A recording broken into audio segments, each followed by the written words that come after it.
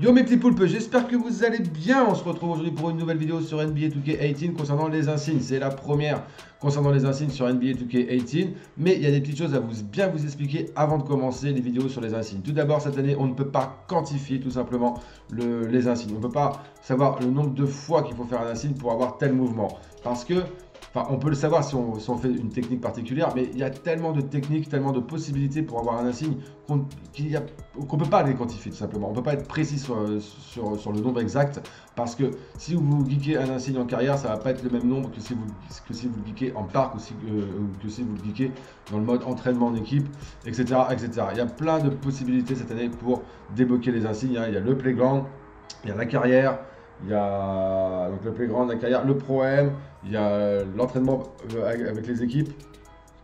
Et enfin, il y a euh, même pour l'insigne dont on va parler aujourd'hui, réflexe rapide, il y a même donc le Gatorade, Training Facility. Donc on ne peut pas simplement quantifier euh, toutes ces choses-là.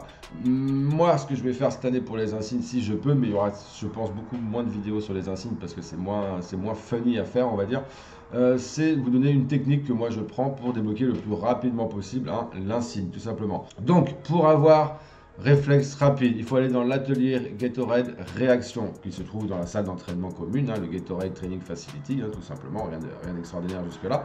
Et là, vous faites euh, ce fameux module qu'on connaît tous hein, sur les réflexes, droite-gauche avec les joysticks, droite et gauche, vous connaissez. Et il vous faut un score de 15 minimum pour avoir donc les 3 étoiles et donc pour marquer 500 points d'XP. D'accord? 500 points sur 6000 pour le débloquer en bronze. Là, en l'occurrence, lui, c'est pas 12 000. Cet insigne-là, c'est 6000.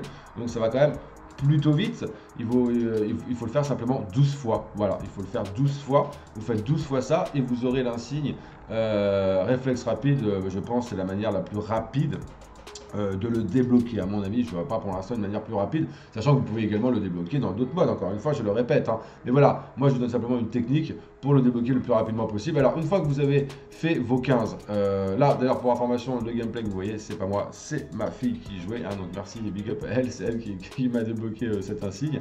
Et après, donc, vous rentrez dans l'exercice main-œil.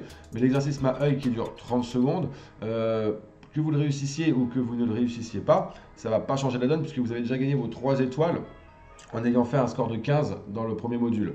Donc euh, bah, soit vous le faites, soit vous ne le faites pas. Quelque part, on s'en fiche quoi. Donc une fois que vous allez réussir euh, tout ça, eh bien vous allez tout simplement débloquer, enfin vous allez pouvoir débloquer l'insigne euh, réflexe, réflexe rapide tout simplement. Donc réflexe, réflexe rapide, sans doute pour peut-être mieux intercepter les balles